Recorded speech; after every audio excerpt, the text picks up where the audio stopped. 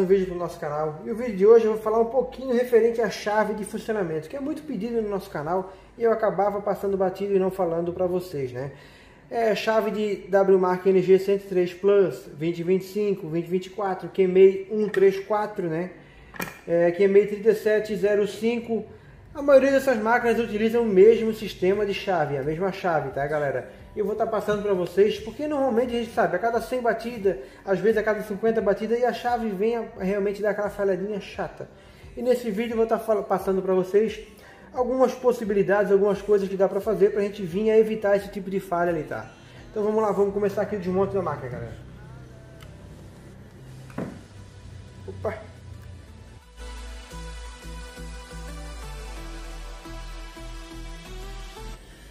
Galera, para reforçar, tem uma Redux JMP1 à disposição, tá? Tem duas unidades na nossa loja, além no Shopee Brasil.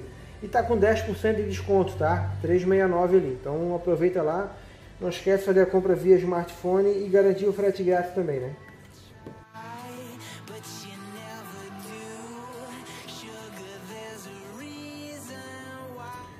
Para chegar na chave tem que tirar essas pecinhas aqui, né?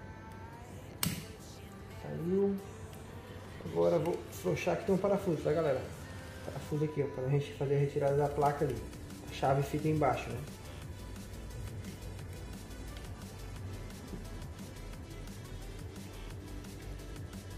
Mais algum? Não, mais nenhum. Vamos puxar aqui. Chavezinha aqui é só encaixada, tá galera? É só encaixadinha aqui, ó. Então sacou a placa para cima, é só levantar cuidado para não vir atirar nenhum um fio desse daqui, né? Não vir fazer a, algum movimento muito brusco e desencaixar ele da placa que vocês vão ter que soldar ele de novo, tá? Então tome cuidado aí. Frostem a chavezinha aqui por cima, né? Dois parafusinhos Phillips aqui, ó. Um aqui e vamos fazer o desmonte dela. Essa minha Redux já falhou, tá galera? Falhou uma ou duas vezes, tá? Deixa eu baixar o som, senão vou tomar um strike aí.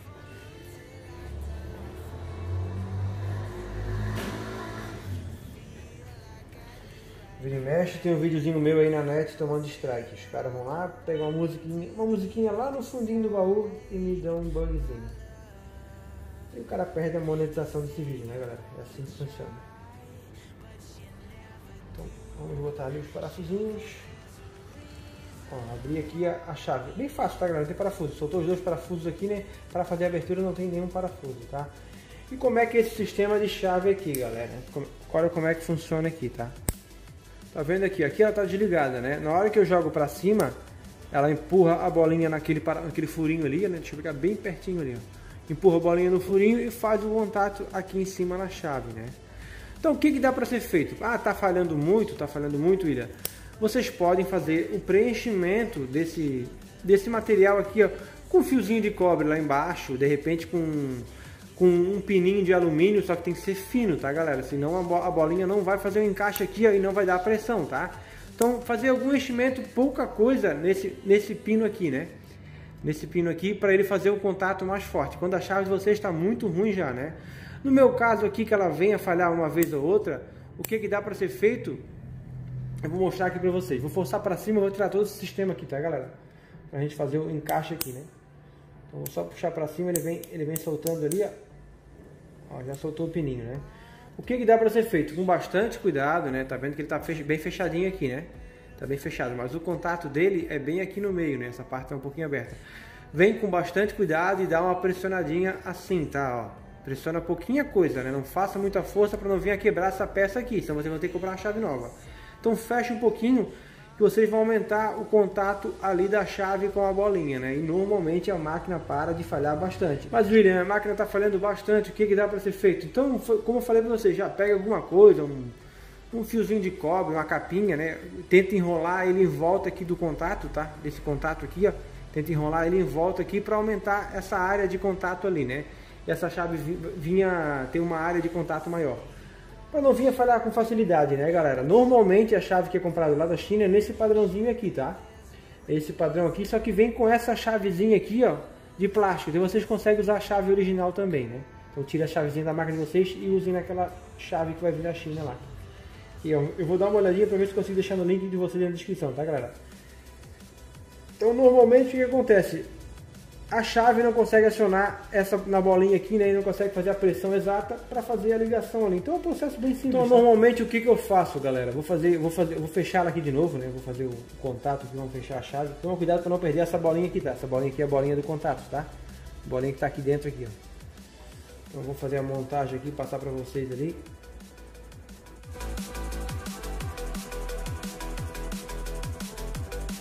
Não tem muita dificuldade aqui não, tá? Com ela na posição aqui, né? Vem dando, dando uma trabalhadinha na alavanca aqui que ela vai voltar para a posição. É só empurrar até lá embaixo, tá galera?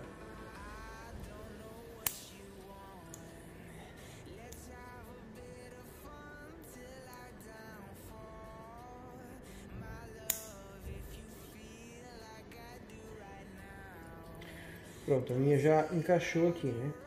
Vou botar bem lá embaixo. E para ajudar também no deslize aqui, na hora de fazer o contato, o que vocês podem fazer também. Ah, tá muito pesada, ela não tá deslizando. Dá um pinguinho de óleo aqui, ó. Vou mostrar para vocês, tá? Só, não, não bota óleo no contato ali, né? Que pode vir atrapalhar. Eu gosto de dar um pinguinho de óleo só na bolinha, tá, galera? Aqui, ó. Só na bolinha aqui, ó. Só uma gotinha de óleo de nada, ó. Que ele vai ajudar no, no trabalhar da chave aqui. Vai ficar um pouco mais suave, né? Aqui, ó. Tá vendo? E ela tende a encaixar um pouquinho melhor aqui também, tá, galera?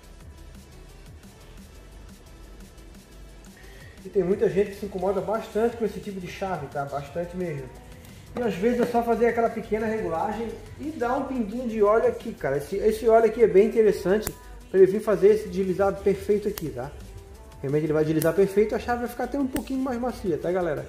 E vai aumentar o contato aqui também, que ela vai empurrar inteira na bolinha lá. Então se está com muito problema, faz esses dois processos que eu passei para vocês, fecha essa, essa plaquetinha ali devagar para não quebrar, né? E dá um pinguinho de óleo aqui também. Não resolveu? Não resolveu, William. Pô, tá falhando ainda. Então faça o preenchimento desse, dessa pecinha aqui, galera. Tá vendo essa, essa pecinha aqui de cobre? Então faça o preenchimento dela, dá uma engordadinha ali para aumentar essa área de contato ali, que vai vir a resolver o problema de vocês sim, tá? Então vou fazer a, a montagem aqui, já vou falar pra, passar para vocês a máquina montada já. Então vamos para a montagem aqui, galera. Depois eu passo para vocês como é que a máquina vai ficar, tá? Minha chave já está lubrificada ali, já está bem, bem macia, né? Então fechei aqui. Show de bola. Tome cuidado na hora da montagem para não vir a tirar um fio desse da posição, né? Então vocês vão ter que fazer solda aí, tá? Vai dar um pouquinho de dor de cabeça.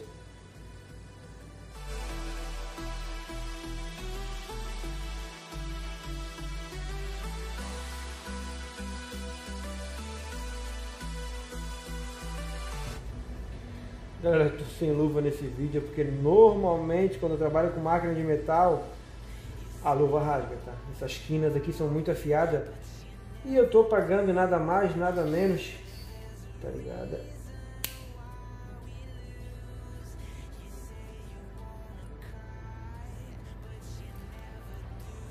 Voltando ao nosso raciocínio aqui, eu estou pagando nada mais, nada menos que quase 80 reais em 20 luvas de borracha, tá? De látex, né? Aquela um pouquinho mais grossa. Então não dá pra vir a estar tá desperdiçando luva assim, né? Então por isso que eu estou sem luva nesse vídeo aqui. Essas máquinas de metal tem muita quina, cara. Sempre rasga a luva. Eu não uso aquela de nitrilo fininha, eu uso uma um pouquinho mais grossa, então ela é bem carinha. Então vamos botar na posição aqui, galera máquina sempre testa antes de fechar, né? Funcionando bem, chave macia. Então vamos fechar ela aqui, né? Posicionei aqui no local. Toma cuidado para não deixar o fio pressionando ali, para não vir a mastigar ele na hora do fechamento né, da máquina. Ficou na posição, show de bola.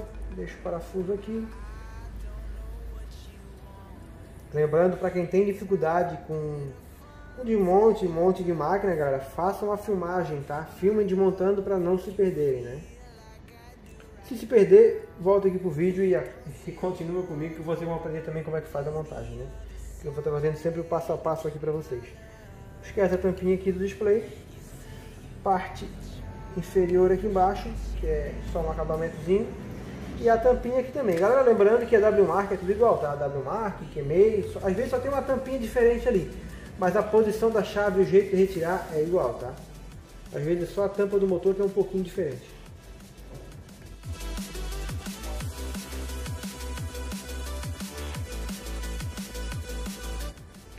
E muita gente me pediu esse vídeo, como eu tava com muita máquina para fazer unboxing e review, galera, não dava tempo, né? Agora deu uma, uma folguinha aqui na barbearia. Esse parafuso tá me incomodando aqui, vamos puxar ele para outra posição. Deu uma folguinha aqui e eu consegui fazer esse vídeo para vocês, né? É uma coisa simples de fazer e com certeza vai melhorar a maioria das máquinas de vocês, tá? Só fazendo os dois processos ali. Se não vinha resolver, realmente tem que fazer o preenchimento daquele eixinho lá, para aumentar o contato aí, né galera? Mas das três soluções tá aí, estão aí, né? Uma das três com certeza vai resolver para vocês. O óleo, o fechamento da plaqueta e aumentar um pouquinho a espessura daquele eixinho lá embaixo, né? Quando realmente está falhando demais, normalmente é isso, é o eixinho lá. Então aqui galera, a máquina pronta. É... Deixa eu dar uma limpada aqui, senão vou ficar sujando meu dedo todo. Aparentemente não vai falhar. Se voltar a falhar, também passo pra vocês, né galera? Mas, ó. Gosto de judiar bem da chave, né? Pra ver se vai falhar.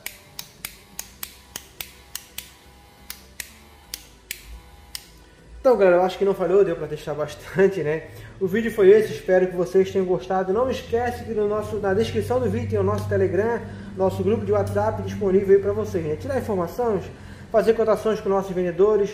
Lembrando que o nosso parceiro Zohan Barber, galera, tem à disposição a maioria das máquinas que passam aqui pelo nosso canal, né? QMI134, Resulx, JM, Resulx JMP1. É, agora está chegando lá também é, a Med Show vai ter à disposição para vocês. E tem também a nossa QMEI 3705, que é uma máquina incrível, né? Lâmina fade já. Nosso parceiro do canal, Betão ali, galera. Galera, esse foi o vídeo de hoje. Realmente espero que eu tenha ajudado vocês, que vocês tenham gostado do vídeo. Não esquece de inscrever no nosso canal, de ativar o sininho da notificação e seguir a gente lá nas redes sociais também. Valeu, um abraço e até o próximo vídeo.